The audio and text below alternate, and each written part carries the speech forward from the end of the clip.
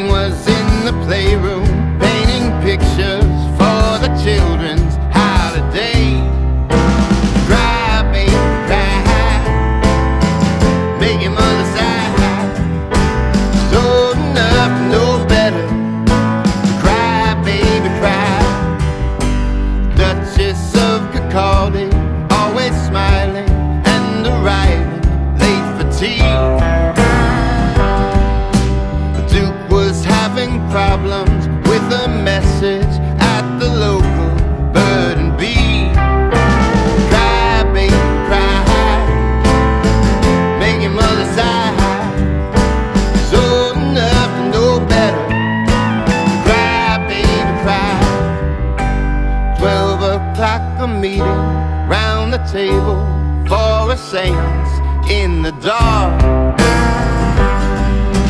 Voices out of nowhere, put on specially by the children for a lark.